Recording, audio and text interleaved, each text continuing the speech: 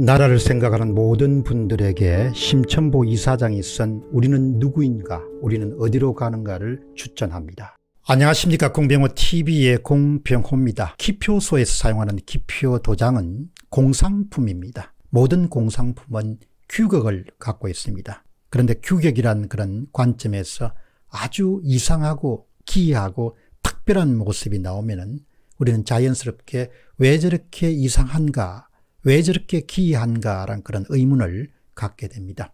공병호 TV는 이미 6월 28일 재건표 현장에서 나온 전문가들의 지적에 발맞춰서 한국산 기표도장, 일본산 기표도장, 그리고 중국산 기표도장을 소개한 바가 있습니다.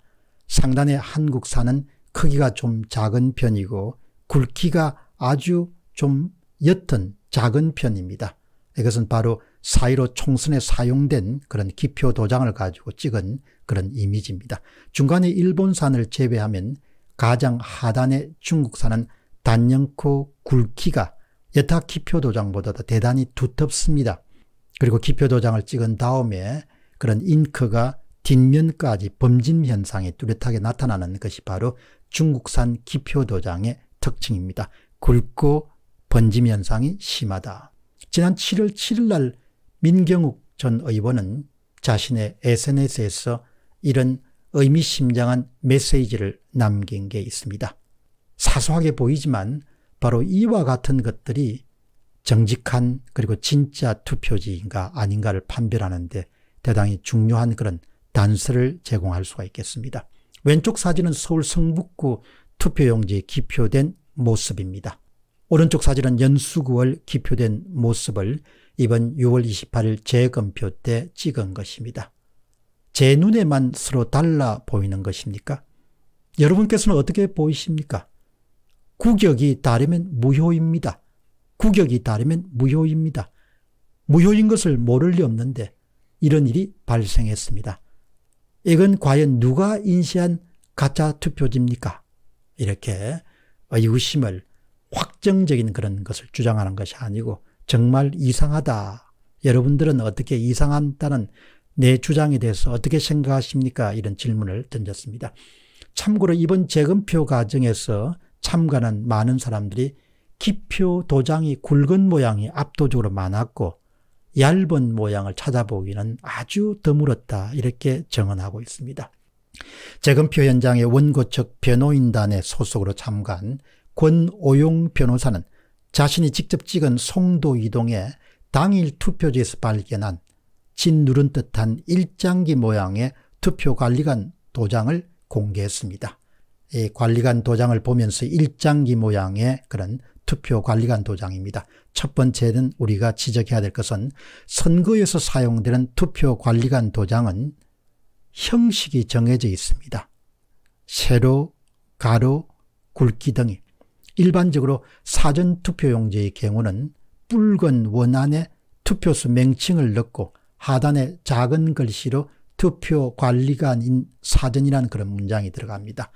예를 들어서 사직동 그리고 하단에 사전투표관리인 삼청동 그리고 하단에 사전투표관리관인 등과 같은 형식입니다.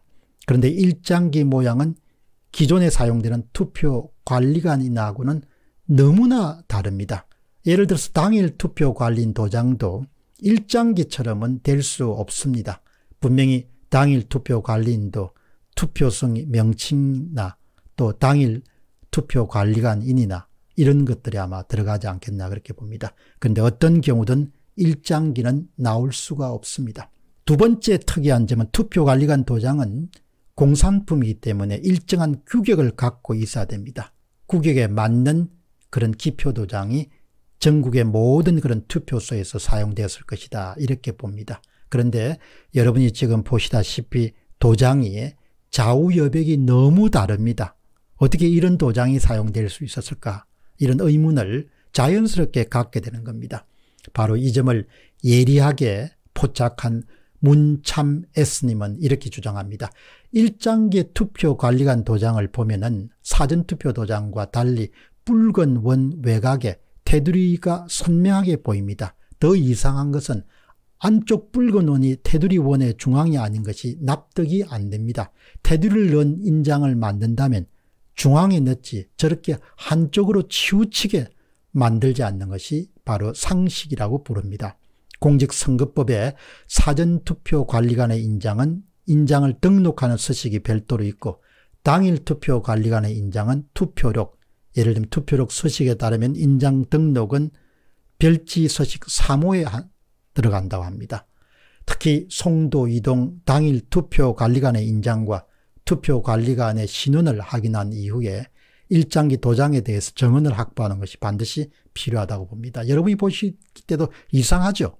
좌우 여백이 일치해야 되는데 저렇게 희한하고 어떻게 저렇게 그냥 일장기 모습처럼 보일 수 있겠습니까? 여기서 이제 우리가 깨우칠 수 있는 것은 이번 6월 28일 인천 연수구에 실시됐던 그런 재검표는 개수, 숫자를 세는 데 집중했습니다. 그러나 여러분들도 아시다시피 재검표의 본질적 의미라는 것은 일단 투표지의 진위, 진짜와 가짜를 먼저 변별하고 구분하는 일입니다. 그렇기 때문에 앞으로 투표지 자체에 대한 진위를 밝히는 검증이 반드시 저는 필요하다고 봅니다. 6월 28일 재검표는 천대엽 대법관이 스스로 주장했듯이 투표지 진위를 따지는 것이 아니라 표수를 개수, 카운팅하는 것에 중점을 뒀습니다. 그렇다면 투표지의 진위를 따지는 별도의 검증은 더 많은 발견을 가능하게 할 것으로 봅니다. 이것은 곧바로 선거 무결선과 관련해서 큰 핵을 끊는 그런 투표지 자체에 대한 검증이 될 가능성이 높다. 그렇게 봅니다. 공병호 TV의 공병호였습니다. 감사합니다.